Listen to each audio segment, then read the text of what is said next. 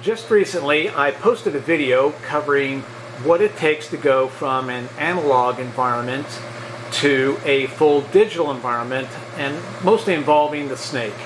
There were a lot of great posts with uh, comments, uh, feedback on the topic of the video, so thank you very much for posting. So a few things I noticed in the comments on the video involved having a redundancy and having a UPS. And on the topic of redundancy, not everybody needs a fully redundant system. I just want to make sure that everybody understands that. Uh, many times redundancy is not needed. Now, as a sound provider, we like to have as many things redundant as possible. Key components of the system, we need to have redundancy to ensure whatever happens, we can continue to provide a service. So in the video, I reference having a backup stage box and as well as a backup switch. Okay, for most people, having backup equipment like that is probably not needed. But said as a sound provider, we, we need to make sure that if something happens, we do have a way to fall back to something else.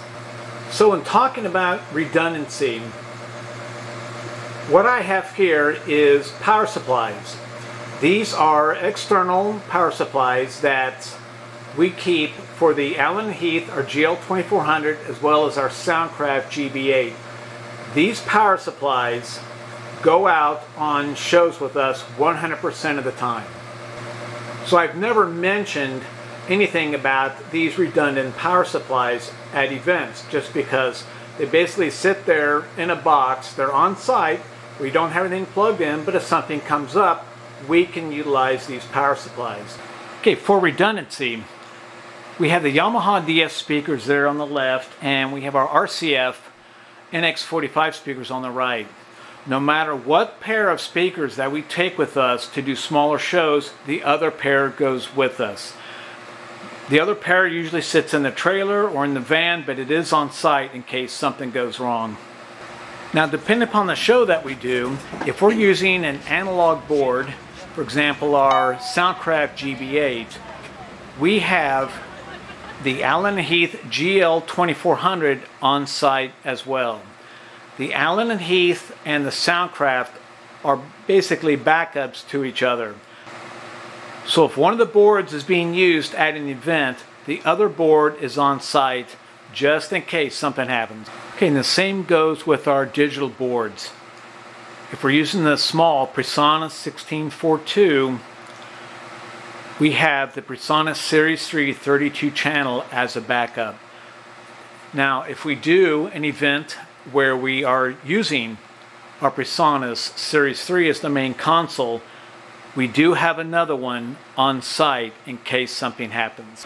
Okay, now this also includes our amplification. So in the past, when we've had a full rack of QSC, the PLX series amplifiers, only some of those amplifiers are being used. The other ones are merely as a backup. On our updated amplifier rack, the crowns are they're backups to each other. But if we end up using both the crown amplifiers, then the QSCs in the rack will become a backup for one of the crowns. Our primary snake is a 32 by 8, 150 foot. Now something happens and we need a whole complete backup snake, we do have a 100 foot 24 by 8 available. But if one channel goes bad in the snake, we certainly are not going to replace the whole snake. We'll just move the input to another channel that's working. So we've only had one amplifier failure in probably in the last 15 years, and that was a QSC PLX 3402. The power supply failed on it. Uh, it failed during a sound check, which uh, was really no big deal. Uh, all we had to do was move the power, the inputs and outputs down to the next amplifier and the show went on. So pertaining to the previous video uh, about converting from analog to digital in Snake setup, there were a lot of good observations and comments about running UPSs, you know, in front of house, and I did reference running UPSs on digital uh, stage boxes. So hopefully uh, in this video I can maybe answer or address some of those questions and comments. So first of all, we are not using a UPS to keep the show going. Currently, we only use a UPS at front of house to protect the console and outboard from power related issues. Now, digital consoles, like a lot of the outboard gear, like speaker management systems, these things are computers and they can be very sensitive to power fluctuations. So, I mean, the fluctuations don't need to be too drastic to cause issues, but they can cause some problems. So, for many digital consoles, uh, as they're used during a show, the software that's in them is making changes to the console or to the session that you're using, you know, like EQ and gate compression. You could also be recording a show. So the console's always busy doing something while you're using it. Now, if a complete power failure were to occur, let's say with no UPS on it, the immediacies of power could potentially present corruption to the software or firmware on the console. And really, if you are if you are recording at the same time, you could potentially lose a whole recording session. So the worst case for power issues is when the power like completely drops for a moment and then it comes back and it drops again and it does that a bunch of times within a very uh, few seconds of time. This is the kind of power cycling that really causes problems with power supplies and computers. So there's three reasons why we use a UPS. And this is just what what we use them for. Now, you know, other people may use them for other reasons. But for us, number one, it provides some security for the console and any attached outboard from potential like brownouts and a power cycling, as well as complete failures that could cause hardware or firmware issues.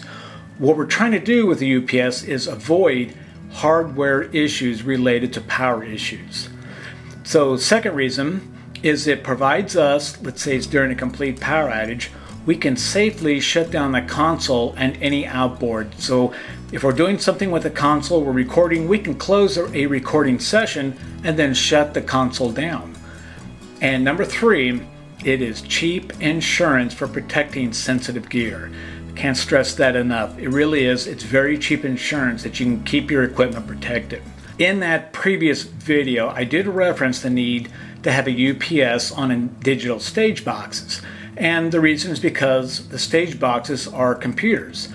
And the UPS on there would be primarily, just like would be on a digital console, to protect them from power related issues. Now, this is something that we would do as a provider, and certainly no one's really required to put UPSs on stage boxes, but it does protect them.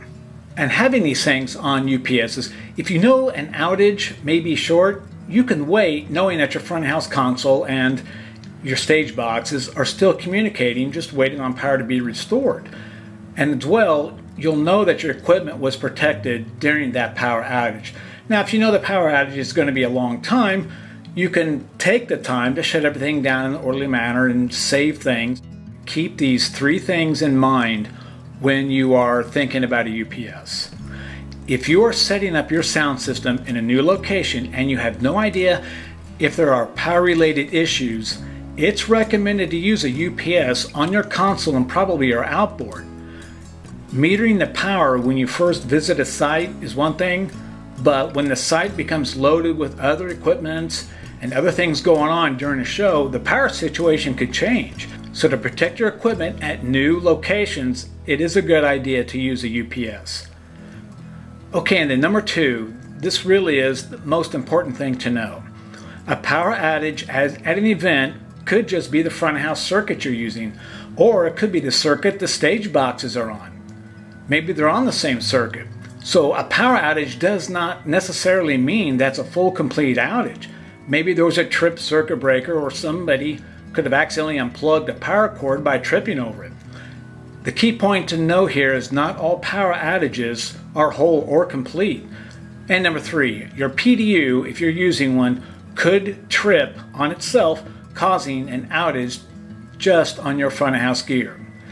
Now, PDUs don't trip that often, but it is very possible that something in the circuit that your PDU is connected to could present something which may cause the PDU to trip. Now, if the PDU does go down, an abrupt shutdown of front of house will probably send a huge pop through your PA and resulting in possible speaker damage. Okay, so remember that key point number two was not all power outages are complete and whole. A power outage can be on a circuit and it could easily be the one attached to front house or even to the stage. Okay, I hope this provides some clarity on what I mentioned uh, with the need of UPS on front house and potentially stage boxes. It's important to protect sensitive equipment. Hope this helps, and thanks for watching.